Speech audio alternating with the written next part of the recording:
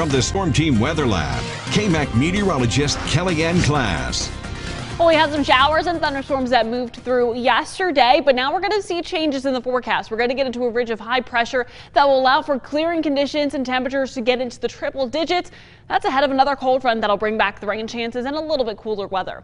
Outside right now in Lockney, waking up to a nice sunrise this morning and a few clouds outside as well. Not seeing any rain showers across much of West Texas. And in fact, we are going to be clearing those clouds as we head on throughout the rest of the daytime hours. That's thanks to that ridge of high pressure that will continue to build in later on this afternoon. Not only clearing our skies, but also allowing for temperatures to reach the triple digits today and tomorrow. And then tomorrow Tomorrow evening, we'll be watching as a cold front slides through, bringing back a few rain chances and dropping our temperatures for the rest of the weekend into the weekend into the mid 90s. We're also going to be watching the tropics as that could bring some rainfall to parts of the Gulf Coast as well, and that could impact us here in the Hub City.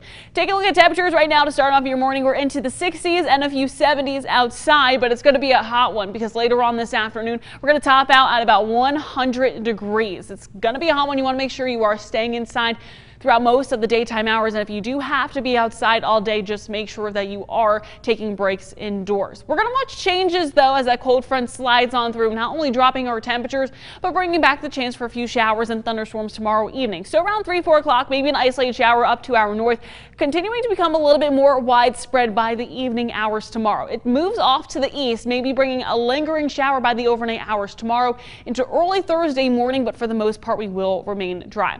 We're also going to be watching the tropics as this low pressure system continues to drift to the south and into the Gulf. The National Hurricane Center has about an 80% chance of a tropical storm development over the next five days and really looking like it will hit portions of the Gulf Coast. Now, it's not going to hit here in Lubbock or West Texas, but it will bring a lot of uh, drawing of that moisture that we see here right now. So we won't allow for any precipitation to form. And in fact, taking a look at the precipitation outlook over the next six to 10 days, that area from that all Gulf moisture will see above average precipitation, but since it's drawing our moisture out of West Texas, we're not going to see a lot of rain chances as that system continues to bring a lot of heavy rain into portions of the Gulf Coast. Today, though, we'll keep those dry conditions and a high temperature of 100 degrees. Make sure you are staying indoors. Try to at least all day. Make sure you are drinking a lot of water. Temperature tonight will drop down to about 9 degrees. We'll keep those clear conditions as well.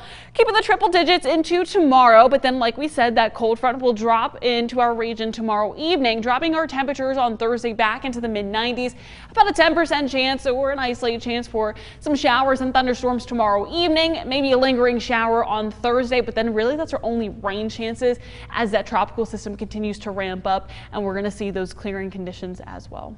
Yeah, definitely going to be wishing for that rain to cool us down after a couple days of triple digit heat. I think we're all going to be ready for it. I think we all are going to be ready for it. Just remember to, I mean, I feel like a broken record. Just stay inside as much as you can. And if you have anything that you need to get, get done today or tomorrow, that includes being outdoors, try to do it in the early morning hours or the evening hours when it's not that hot. Yeah, always good reminders. Kellianne, thank you so much.